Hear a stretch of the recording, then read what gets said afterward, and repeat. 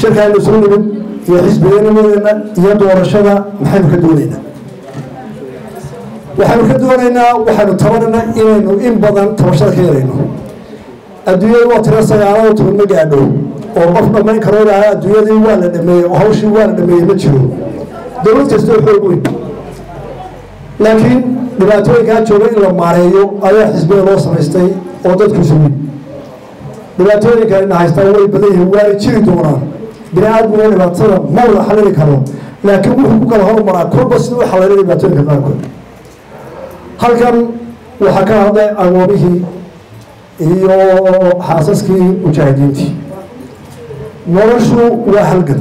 Maalin qorigaa lagu dagaalamaa oo naftaa la dhiibayaa oo loo dhimanaya xorrib waxaa laga doonayaa dhimashada in la helo noloshaa lagu jiro mid ka wanaagsan in ubadka looga tago hadday shalay tooba ahayd tii dagaalku socday wada qaxootiga ahayn aynu banaanka wada fadhinay maanta ugu yaraan guryo waynu fadhinaa taclayna waynu habsanayn waynu raadinaynaa sidii hore waynu ka degannahay laakiin weli wixii aynu halgamayna waa fog yahay oo geedigu waa dheer yahay ayaan la soo gaabin maanta waxa weeye si aynu ugu hiirino kuwa dhintay. Si aynu ugu hiirino dadkii jihaadka soo galay dhaawacada naafada si aynu ugu hiirino kuwa alwoomaha ah waa inaynu ku talagalnaa inaynu mustaqbalka somalilan oo dhan dhisno ee aynaan u eegin mid qoys qoysa markaasi raggii dhintana iilka qabanaya. Maxaa ugu horreeya halkeenu ka bilaabayna somalilan labaatan sano ka hor markii halganka ku jirtay waxay lahayd saddex ciidan oo kala duwan. Mid daraawiish buu ahaa midna horyaal buu ahaa midna esana iyagu iskooda isway direen ciidamadaasi. Ciidamada ciidan ee kale daraawiish iyo horyaal cedow weynu ishaynay ayaa warqalada inoo kala sheegay. Waynu isku dhacnay nasiibanagu waxaynu nahay dalka qura ee khalada dagaalkiisii iyo wixii dhex maray iyada oo ciidamo u soo gurman afrikana u soo gurman ajnabina u soo gurman iyagu ka heshiiyey ee ka dhammaystay ee ka walaaroobay ee dowladooda dhistay ee maanta ciidan isku mido leh ee kuwii ugu dambeeyana aynu ku soo dhammayno shirarka oo boogays iyo kuwii kale laascaro ka dhacay oo maanta ka mido qofka waxa uu faani karaa marka uu isu keeno xadka bari iyo ka galbeed u dambeeya somalilan dadkooda. Marka uu mideeyo ee is aaminaan ee wax wada dhistaan ee cududooda iyo caqligooda isu geystaan ayuu faani karaa xisbiga kulmiya tuudoon iyo hirgeliya waa taa taasaynu ku mideeyi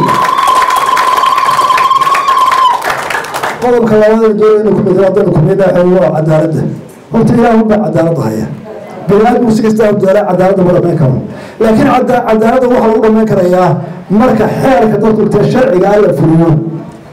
Ee sharciga aynu dhiganay uu ka sarreeyo qof walba? Madaxweynaha dalka ugu sarreeya xilka la yidhaahdo. Waxaa loo sameeyey sharci maxkamad ugu geyn karo hadduu sharciga u gafo. Qof walba u yaqaanaa. Madaxweyneheeni ugu ee geeska afrika taarikhya siyaasiyiinta ugu waayo taarikhda gaaha ah maxamed xaajiraan cigaal impeachment ku qaaday hal cod buu kaga baxsay waxaynu doonaynaa qof kasta oo dalka joogaa inuu sharcigu ka sarreeyo oo aanu noqon dadka qaarkiina sharcigaanu qabanin qaarna sharciga lagu qaado. Waxaynu doonaynaa dadka dhaqaalihiisa iyo dhaqaalaha dalku uu leeyahay inaanu kala bixin dabaqado sare oo bilyaneer noqda iyo inta badan oo baktida noqdo. Taana kulmiya wuxuu doonayaa dadka ilaahay baa nin walba dhaqaalihiisa siiyey iyo caafimaadkiisa market xor ayaynu leenahay suuq xor ah. Qofku inuu taajir noqdo oo lacag shaqaysto sharciga ogol diinteenna ogol laakiin waa inuu sifa xalaala ku shaqaystaa laakiin waa inuu bixiyaa xuquuqda diiniyan iyo sharciyan loogu leeyahay si mujtamacu soo gaaro oo aynaan noqon dabaqad jiidata oo lacag leh iyo dabaqad baktan wataaba xisbiga kumeelkaan isku goyn doon oo shaqeyna wadaa oo aan dhammaanteen cod ku tabashooyinka badan ee laga yaabo inay dad badan oo dadka soo halgamay tirsanayaan waxaanu kaga bixi karaa keli ah innaga oo ilaalina qarannimada iyo sharciga innaga oo ka hortagna ereyga ladhaa musuq maasuqa oo musuqmaasuqiyaa ugu horreeya qabyaaladda iyo nin iska xigsiinta iyo kana aniga ahe soo daa iyo kana innaga ma aha. Muusiqa lagu sheega halkaasu ka bilaaba dee tala xatooda dadka iyo hantida iyo lacagta ayuu taga haddaynu taa ka adkaysano oynu ka hortagno xuquuqda aynu tagana markaasaynu gaari karnaa waxaan ku soo waranaya haddaynu kuliya nahay waxaynu caddaynaynaa markaynu doorashada gelayno waxaynu kaar ku bixinayno. Qofkaynu dooranayna waxaynu ka rabno dhibaatadaynu hortaana sidaynu uga baxno.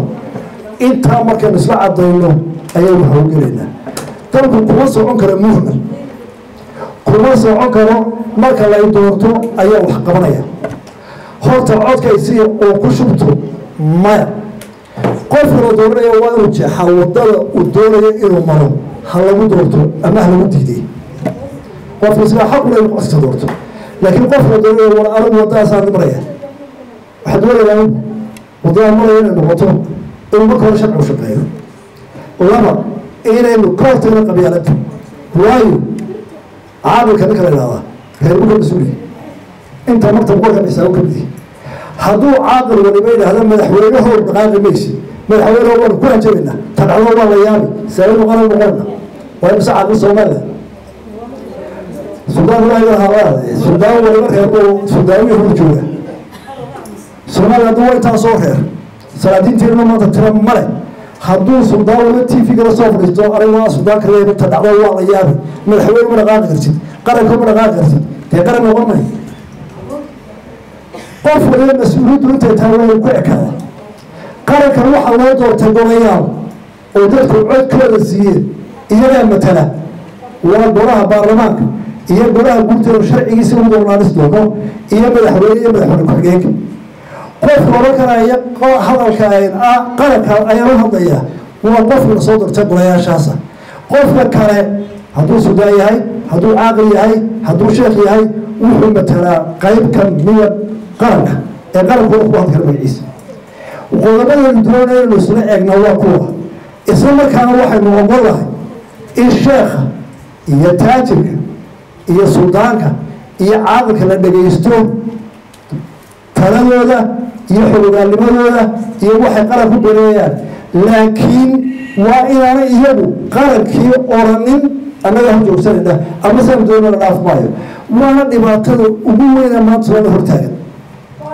Marka t v la daawado caalamka oo laga daawado caalamka oo dhan ee somaliland t v-ga la daawado waa lala yaaba ma qaranba ma qabiilba ma dad mugoyas haystaa seeba mahabaa la soomaya waxaynu u baahan nahay xeelku waa maxay waa waxa lagu heshiiyey inaynu isa sharaxno dhibaatadayna haysata inaynu isla fahno dhibaatadayna haysata qof waliba qadarin iyo maamuuska inbuu ku leeyahy hadduu intiisoo dhaafo waa lasdhex yaacaya haddii lasdhex yaacana qaranka qormayna meel gaarimen markaa waxaynu qaadan haddaynu kumiyanahay in qaarannimadu ka weynaato qorannimada in qaarannimadu ka weynaato qofka in qof uu qaranka ka dambeeyo haddii uu arri hayo iyo talana uu waddo u soo maro oo uu u leeyahay dimuqraadiyadeenu dooranay iyo dhaqankeena iyo islaamnimadeenu waa shuura. Hala tashado laakiin hala tashada ma aha qofku qarankaa ka adkaado. Sida imka dhacaysa t v-ga laaduna soo fariisanayo taasaynu kaga bixi karaan qaran ku dhisi karaa marka qaranka la helo marka sharci la helo ayaa dhaqaalada samayn karaa markaasaa dhibaatooyinkeena lagu karaa waxaan ku soo gabagabanayaa dadka qaarkood ilaahay wuxuu u diray inay qarankan u dhintaan oo dhiigooda u bixiyaan oo ay caruurtooda u iloobaan oo ay xaaskooda u iloobaan. Waxaa maanta joogaa laga yaabaa furadka u baabeeya ee ciidanka. Ugu fog nin afartankii sana u dambeeyey geed hoo seexanayay oo qaran ka daafacayay oo shan dhaawac qaba oo caruurtiisa aan danka lahayn iskuul miyay tageen miyay wax cuneen miyay cisbitaal tageen waxaa laga yaabaa ninkaas inuu taa fikirin ee uu ka fakiro qaranka ilaali iskama diidi karo ninkaas m ma oran kara si hayeelin jirkiisay ku abuuran tahay. Dareenkiisay ku jirtaa waa iyo kuwaas waa askarta. Waxaa ceeba. Waxaa la yaable inuu ku faano nin anigu waliya xabad mariye askarta ma jeceli sad qaran u jecesha jeclay ka naftiisa u hore haddaad diiday ka jecesha waayo nacas baa ninka saa yahay edaysaa u dayaacay qaranku ku lehay qaranka maxaa ku waajiba dadka sidaa naftooda ugu huray inuu qarankuna abaalkooda siiyo qarankoo dhan bay waajib ku tahay inuu abaalkooda u celiyo oo hadduu dhaqaale u celi waayo sharaf iyo maamuus iyaga iyo ubadkooda qoysoodka celiyo tani doona inuu dhalano waa taa aad baa mahadsantihiin